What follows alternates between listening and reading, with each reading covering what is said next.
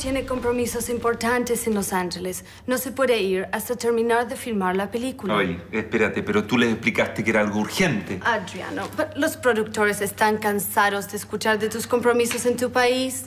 Tuviste suficiente tiempo para solucionar todos tus problemas. Lo sé, pero, pero, pero yo no se los pediría si esto no fuera absolutamente necesario, es algo importante. I'm sorry, Adriano. La respuesta es no. Bueno, y si me voy, de todas maneras. What? Are you nuts? Si abandonas la filmación, te demandarán y toda la industria se enterará de que no estás cumpliendo con tus compromisos. ¿Quieres arruinar toda tu carrera acaso? No, no. Is that what you want? Not at Come all. on. No, no, no se trata de eso. Es, es un par de semanas, no un viaje largo como el otro. Esto es algo No importante. insistas, Adriano. Si quieres, prepara un discurso para los productores. Yo no voy a volver a hablar con ellos. Now, I have to go. Goodbye. Think about it. Ok. Bye. Bye, thanks. Rafael, te pregunté qué haces con esa guagua. Eh, es la hija de Mariana, mamá. ¿De Mariana? Sí, de Mariana, mi amiga, ¿se acuerda de ella, no? Sí, sí, me acuerdo perfectamente bien, pero ¿qué haces tú con la hija de esa mujer? Bueno, se la estoy cuidando, ella tuvo que ir al doctor, por eso. Mire qué bonita se llama Camila, mire, mire cómo es la guagua. Rafael, yo, yo venía a hablarte del asunto de la quimioterapia. Ah, mamá, mire, yo tengo algo que hacer súper urgente, así que después a la noche le llamo, No, ¿ya? si lo mío es muy corto. Mira, hablé con el doctor, pero el tratamiento es muy caro. Ay, mamá, pero ¿qué se preocupa si yo voy a pagar todo, por favor? No se sí, preocupe pero mira, más. lo, lo que pasa es que, bueno, mi- Rafael, Mamá. estoy muy complicada. No, mamá, relájese. Pero mire, más tarde conversamos y relájese ahora. Venga, venga. Yo la voy a llamar más tarde porque ahora tengo que hacer. Y no se preocupe más de los precios si yo voy a pagar todo, ¿ya? Está bien, pero dile a la madre de esta niñita que tiene una guagua muy linda, pero que la próxima vez que tenga que ir al doctor la deje con una de sus empleadas porque tú ni siquiera la sabes tomar en brazos. ¿Cómo que no? ¿Cómo? Mira las leceras que hizo la señora. Que sí, claro, una lecera, pues. ¡Mariana! ¿Qué estás haciendo aquí? Es muy peligroso. Richie me dijo que viniera solo. Vámonos, vámonos de aquí, por favor. Mariana, si te ve acá le puede hacer algo a Camila. No, yo ya hablé con él y lo convencí. Me va a pasar la Camila, no te preocupes por ella. ¿En serio? En serio, vámonos antes de que llegue alguien. ¿Alguien quién? Claro mismo, después te cuento, vámonos. ¿Qué vas a hacer? Ah, no tengo alternativa. Tengo que terminar la película antes de viajar a Chile. ¿Pero sería tan grave desafiar a los productores? Sí. No, no te imaginas. Si, si hay alguien con quien no te puedes pelear tú en este mundo, es con los productores de acá. Además, eh, no, no, no puedo arriesgarme a que me demanden por abandono de trabajo, imagínate. Pero has gastado bastante plata ya. Precisamente, pues, he gastado un dineral entre Mauricio del Sol, las, las acciones de la naviera Thompson. Además, no puedo arriesgarme a dañar mi prestigio, eso es importante acá. ¿Tan grave sería? Sí, imagínate, si esta ciudad parece grande, pero es un pañuelo, todo el mundo se conoce. Esta cuestión se sabría al tiro. Yo, yo pondría en jaque 20 años de esfuerzo, no puedo. Parece que en realidad no puedes, ¿eh? No por ahora. Lindo, usted no le habrá dicho nada a la actriz de esta historia del secuestro, porque mientras menos gente sepa, mejor. No, mamá, yo no le he dicho nada. ¿Cómo le voy a decir si yo de hecho me acabo de enterar? ¿Usted no encuentra que Juan Pablo se ha demorado mucho? Sí, demasiado. Lo raro es que Mariana no haya vuelto de misa. Aquí está. Juan Pablo. Juan Pablo, ¿dónde está la Camila? No, no está. eh, eh, hubo un cambio en los planes, ¿Cómo mamá. cambio de planes? ¿Le van a entregar a la niña o no? Sí, yo espero que sí. Yo estaba esperando en el lugar ahí a estos tipos y llegó Mariana diciéndome que habían cambiado las condiciones, que nos iban a entregar a Camila sin problema. Pero como no, Mariana no estaba en la misa. ¿Qué misa, papá? La misa del cura Samaniego, probablemente rodeada de mafiosos. Por favor, misa. ¿Y el dinero qué hiciste? ¿No Aquí está todo. No, acá está todo. No fue necesario. Ella está ahora hablando de una nueva negociación. ¿Pero cómo ahora? ¿Y, y tú no la estás acompañando? Pero esa gente es muy pelúa. Sí, yo sé, son peligrosos, pero exigieron que ella fuera sola. Melania, por favor, convídeme un whisky. Sí que sean dos, Melania. Oye, pero bueno, ¿hay algo en que yo, en que yo pueda ayudar? Sí, quedándose callado. Eso ayuda mucho, lindo. Ay, ojalá que aparezca luego esta niña. No está Camila. Tranquila, está bien. Mi amor, ¿cómo está mi niña? Te echo de menos. Bueno, bueno, ¿cómo le fue? ¿Dó- ¿Dónde está la plata? ¿Qué plata? Ma- ma- ma- Mariana, ¿cómo le fue con Juan Pablo, Mariana? Ay, bien, porque Juan Pablo sigue vivo, Rafa. Gracias a Dios está vivo. Tu papito está vivo, mi amor. ¿Qué? ¿Qué estás hablando? ¿Dónde está la plata? ¿Dónde está Richie? No hay plata. No, no hay Richie. Yo. Ay, Rafa, lo empujé por las rocas para abajo. Richie está muerto.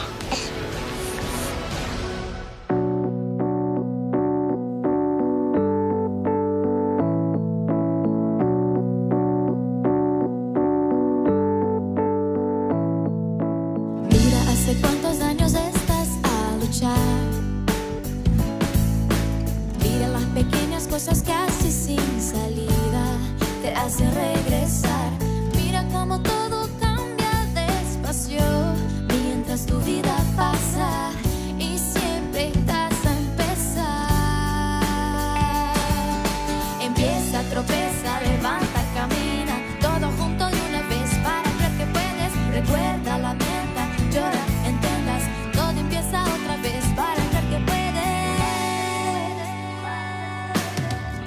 Mirar el sol y la oscuridad, hacer el bien sin juicio. Mariana, mentira que hiciste eso, ¿no? Ay, no, Rafa, no podía dejar a mi hija sin padre, entiéndeme. Fue lo primero que se me ocurrió. Fue absolutamente instintivo, no, no sé.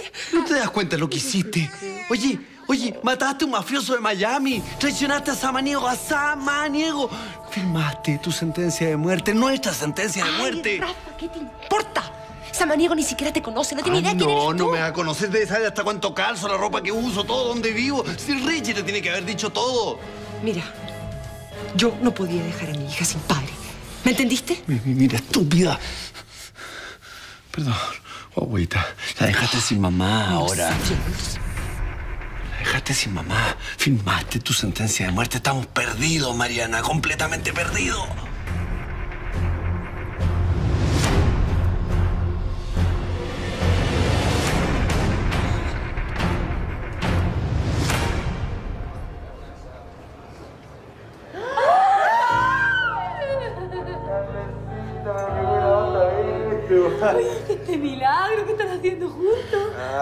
Lo que pasa es que la Beatriz se dio cuenta que no podía vivir sin mí.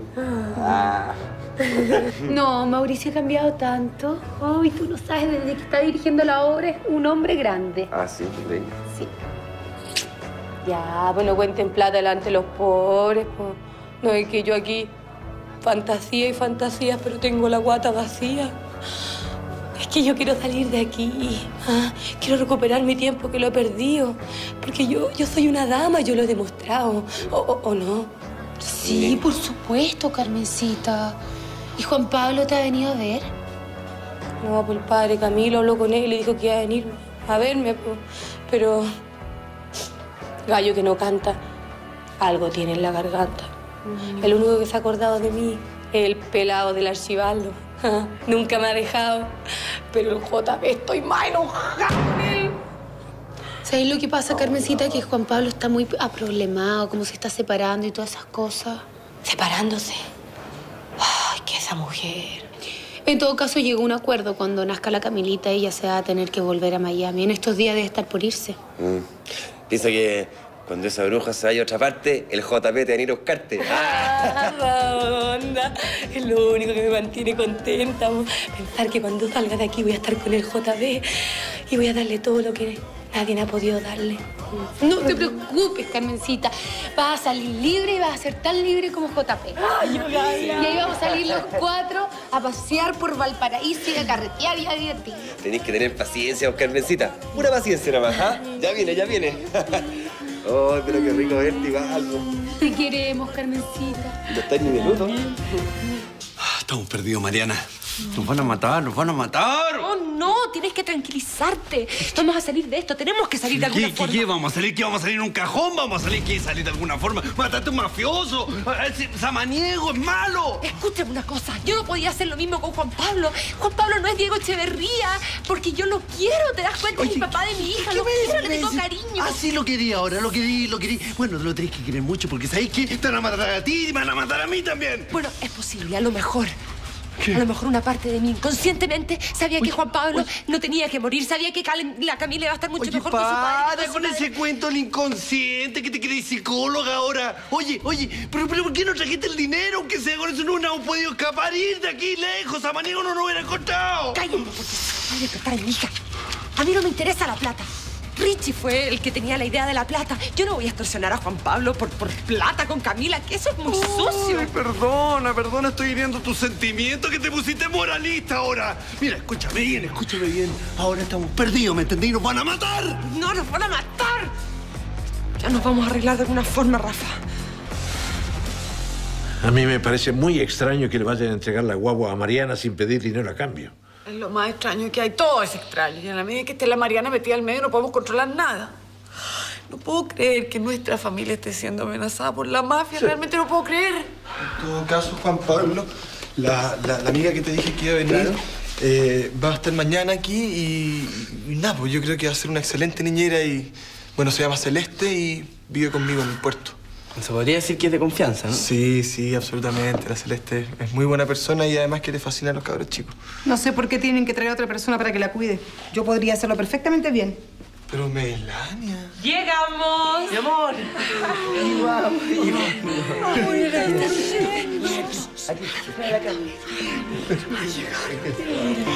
Con cuidado, con cuidado. Conmigo, agüita linda.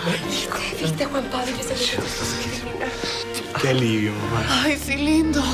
Oye, ¿estará bien? Claro, está muy bien, está en perfectas condiciones, mírenla. De todas formas, hay que hacerle un chequeo con un doctor para saber cómo está. Sí, para estar más seguros. No, no es necesario. Pero bueno, Melania está bien, llama a un doctor. Pero yo creo que está en perfectas condiciones, mírenla. Y bueno, ustedes comprenderán que yo no me voy a sentir completamente segura hasta que Mariana se haya ido. Es decir, Mariana, tú te tienes que ir muy pronto, o sea, te tienes que ir lo antes posible. Tú representas un peligro para la Camila y para toda la familia. Mi nieta, linda. Ay, qué bueno, qué Mamá, Ah, yo necesito conversar con usted. ay, lindo, es que... Bueno, ahora que ya pasó este problema a la Camila, necesito que usted me escuche. Es algo muy grave. Bueno, vamos a mi dormitorio porque necesito recostarme, me siento un poco más... Eh, ¿Qué pasó? Qué muñequita más linda. Guachi, ¿trajiste los zapatos de baile español? Oye, Heidi, pincháis, si ya te dije que sí, oh. Oye, ya, pues guachi, no es que estoy sobreexcitada, ya no yo la hora de bailar. Hola, pues Rafa, ¿vos qué estás haciendo aquí? ¿Te viniste a matricular? Bueno, ven. Manu, ¿cómo estás? Qué bueno. Quiero hablar contigo. Chao. ¿Qué onda este compadre? No me contestó ni la pesadez. Ya, o no sé, así. Vamos. ¿Qué pasó, hermano? Simón, tú nunca me has juzgado. Yo te quiero contar algo. Necesito hablar con alguien. Estoy solo, hermano. Mire, yo lo único que espero es que esa demente se vaya luego de Chile porque francamente me muero de pena, se me parte el alma de pensar la clase madre que tiene la Camilita. Mamá, yo, yo tenía que hablar algo muy grave con usted. Casi tan grave como lo de la Camila, le juro. Ya, bueno, entonces espere que me recueste un poquito porque sabe que yo siento que me está fallando el corazón, estoy como el tata. Venga, intálese. Mamá, la, la Beatriz estuvo en Santiago, en la casa de la tía Isabel. Otra loca de patio. Mamá, la Bea estuvo haciendo unas investigaciones muy raras en la casa de la tía Isabel. Y bueno, ella cree que yo soy el hijo de Adriano.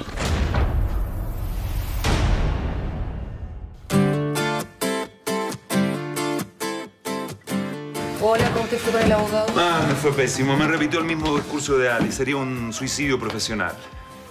Pero es que estos gringos no pueden ser tan fríos. Adriano, ¿qué pasa si le cuentas toda la historia? Todo lo que pasó desde el día del Año Nuevo.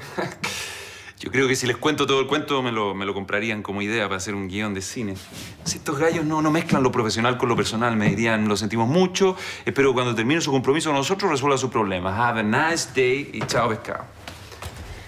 O sea que sería terrible desobedecerlos, ¿ah? Sí. Sabes, Adriano, yo creo que por primera vez en tu vida vas a tener que priorizar tu vida personal por sobre tu vida profesional. Ya, no, córtala. No, no. Me vas a terminar convenciendo y voy a perder como en la guerra. Me voy a quedar sin pan ni pedazo. Estoy pensando lo que es mejor para ti. No sé, pero... Pero, Adriano, Adriano, la vida es tan frágil, es tan corta, que no podemos dejar las cosas esenciales para mañana. Porque quizás no hay mañana. Se me tuvo que morir mi hijo para que yo entendiera eso. No sé, no quiero que, que tengas que vivir una tragedia para que empieces a darle importancia a las cosas que son importantes.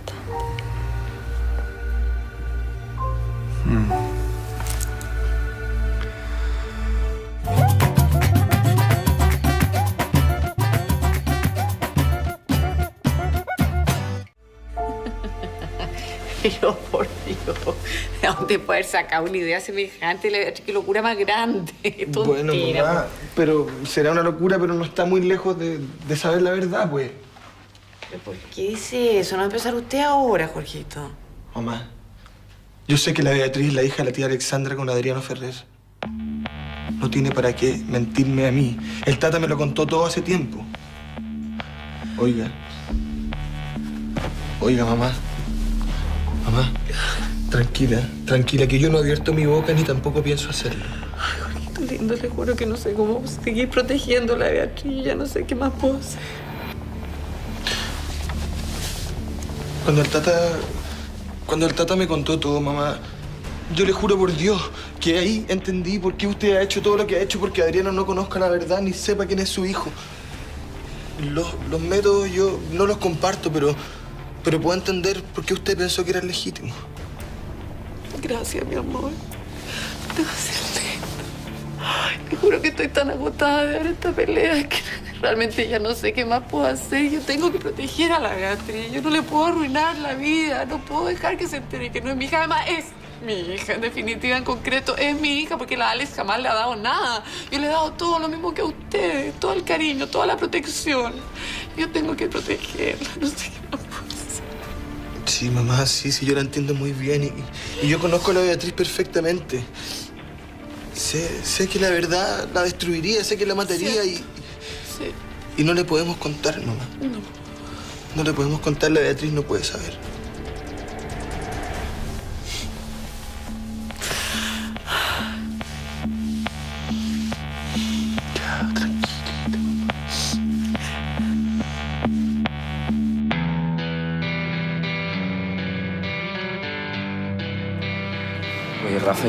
Gente muy peligrosa? Gente mala de verdad, gente que anda con pistola, que mata a otra gente.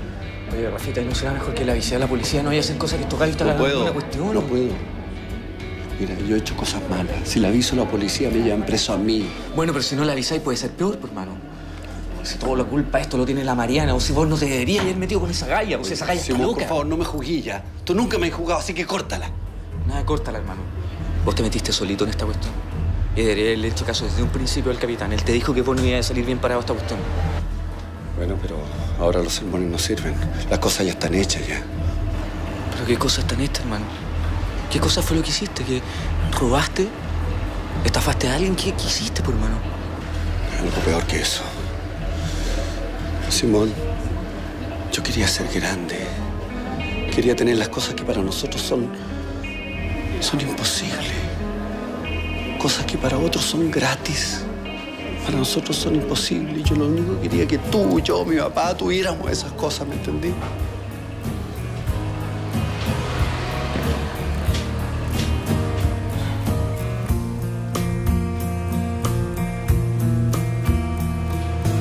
Ya, mamá, tome. Tome, por favor, por favor, no llore. No llore, no llore ya. No llore más, mamá, por favor. Yo, yo parece que no estoy muy acostumbrado a verla llorar. Para mí usted ha sido siempre el- la fuerte en esta casa. Sí, tiene toda la razón, lindo ya. Basta de llanto, porque yo soy la fuerte.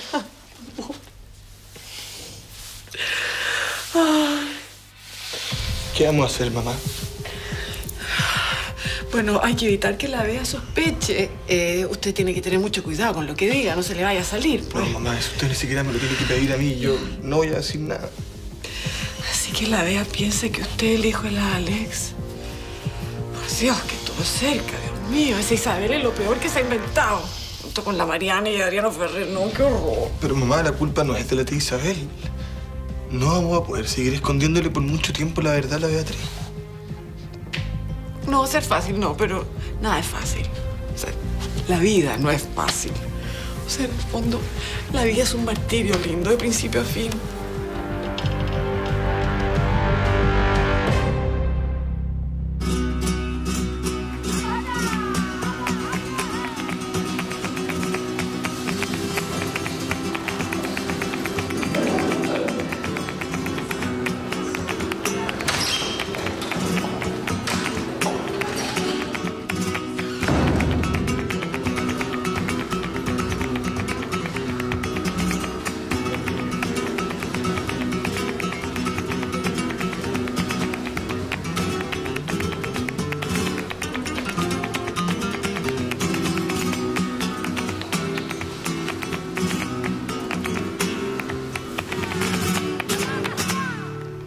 Mira, está a punto de quedarse dormida, Juan Pablo. La deberías llevar a su pieza, entonces. No, se va a quedar conmigo porque la tengo que defender. En ese caso la tendrías que defender de ti misma. Tú eres lo más peligroso que está cerca de Camila. Mira, gracias a mí está de nuevo con nosotros. Gracias a ti la secuestraron, Mariana. Bueno, a propósito, tomé una decisión. Quiero que te vayas pasado mañana de una vez por todas de esta casa. Pero Juan Pablo, me dijiste que en dos semanas más, como pasado mañana. Bueno, pero cambié de opinión. Esto se ha puesto demasiado peligroso. Quiero que reserves tu pasaje, que hagas tus maletas, resuelvas todos tus asuntos acá para que puedas partir de una vez por todas a Estados Unidos. Juan Pablo, por favor, no, por favor. Sí, Mariana, si no te vas, voy a tener que denunciarte a la policía.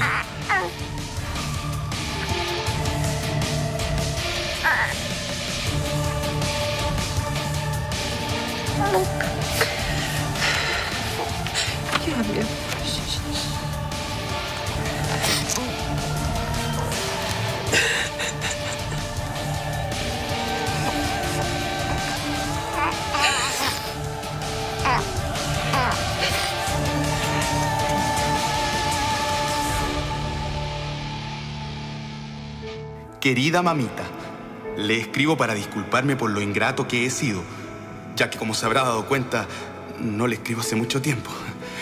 El motivo por el que no ha recibido noticias mías es porque mi cabeza, mis palabras, mi tiempo, mis manos, todo mi ser está siendo ocupado y dedicado a Karinita. Usted no sabe cómo me tiene esa porteña, mamita. Su sonrisa es mi alimento de cada día. Para mí es un placer escribirle y decirle cosas lindas porque a ella le hacen tan feliz mis palabras. Debería ver cómo le brillan los ojitos, cómo mueve sus manitos cuando ha llegado carta de su enamorado. Creo que ella no está acostumbrada a que le digan cosas lindas y mis palabras le hacen sentirse bien. Yo ya le he hablado de la Karina antes, ¿verdad? De, de mi polola, la mujer que más me quiere y que yo más quiero. Esta hermosa porteñita, medio mujer y medio niña, medio fuerte y medio débil, que me da tanto y al mismo tiempo me quita todo. Cuando estamos juntos, mamita, el resto del mundo deja de existir. Es como si desapareciera todo.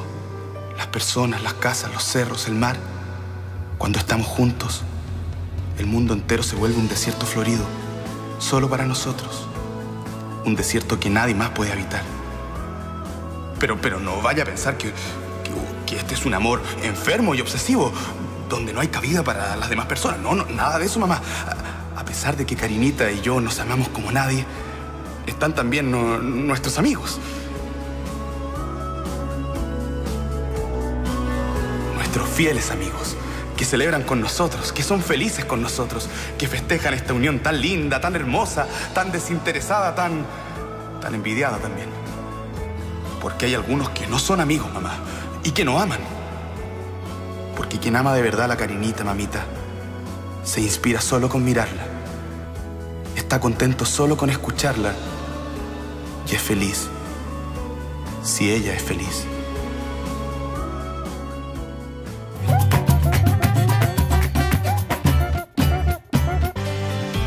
Hola, Fernanda. Coque. Hola, qué sorpresa.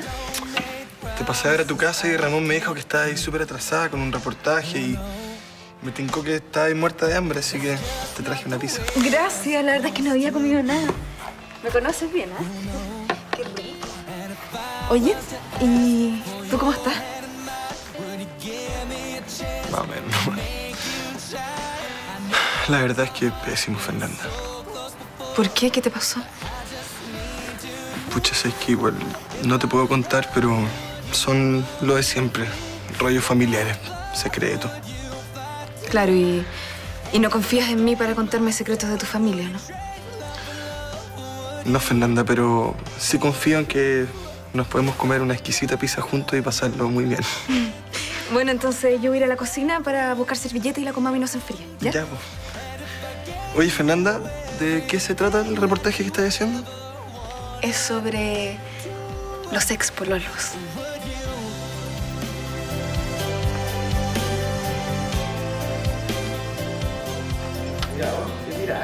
Pero en serio, Catalina, ¿Pero por favor, sin... Nada, ya, Ramón? ya, ya, tranquila, Ya, sin mirar. no, no me gustan sin mirar. estas No, sorpresas. espérate. Un, dos, tres.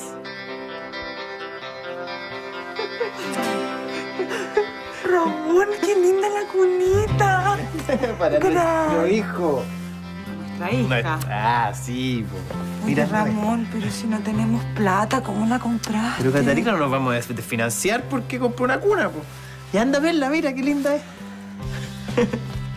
Ay, qué bonita, Ramón. Este pasó, la hizo un amigo que trabaja en madera, que es del Cerro Santo Domingo. Gracias. Estoy tan feliz, mi amor. Yo soy el hombre más feliz del mundo. ¿Sabía? Qué bonita. ¿Aló? ¿Emilia? Oye, ¿cómo va la cosa? Mal. Convencí a Adriano para que viajara, pero los productores no lo dejan. Ah, eh, no puede viajar todavía. Ah. Está haciendo la cuestión de la película. Oye, eh, ¿y cuándo crees tú que termine ese asunto de la película? ¿Ah? ¿Cu- ¿Dos meses? Pero dos meses es mucho tiempo. po. Sí, pero es que no hay otra alternativa. La otra sería que se enojara con toda la gente con la que trabaja, pero no creo que se atreva tanto. Ya, peor. Bueno, Emilia, o sea, cualquier novedad que haya nos llamáis, pues, ¿ya? Igual estemos en contacto. Y cualquier cosa que pase aquí, nosotros te llamamos, ¿ah? O sea, mejor llama tú porque nos está saliendo súper cara la cuenta de teléfono. peor. ya, listo, nos vemos. Chao. No va a poder venir. No, está hasta aquí de pega.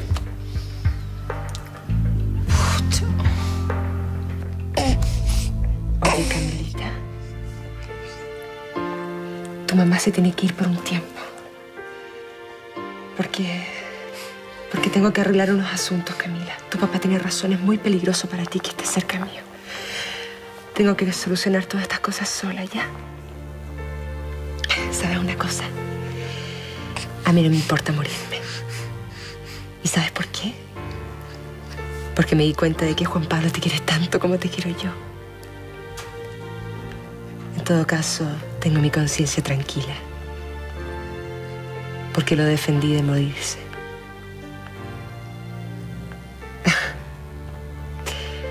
Juan Pablo es un hombre muy bueno. Gracias a él yo estoy viva. Gracias a él tú naciste. Y gracias a Juan Pablo vas a estar toda la vida bien. Tú eres como él, Camila. Eres una niñita muy buena, muy buena.